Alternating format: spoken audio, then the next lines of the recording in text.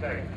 All right, so let's start with tonight, your qualifying effort on the pole, I think by about a tenth, well, you know all that better than I, I forgot. But you started on the pole, had a little rough start there at the beginning, and I think we captured everybody back, had a smooth start coming down.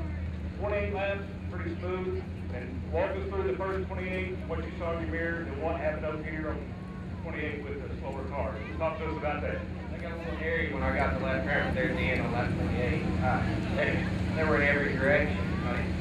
You just had to go where it's clear.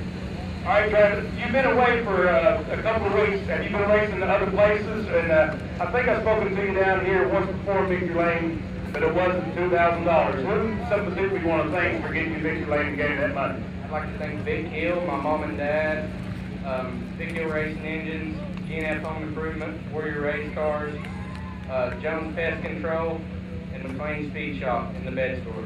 All right, there you go. I think you got them all in. Uh, one more party shot before we go. Uh, do you plan to be with us? I think the limited, look at the schedule, going to be here in two, three weeks. You plan to be with us here? Oh yeah, we'll be back. You got to fit that title. One more time, let's hear for tonight's winner. Running away on the pole, 33, Trevor Side. Congratulations, my friend. Thank you, everyone. God bless. Godspeed. Hope to see you next Saturday night.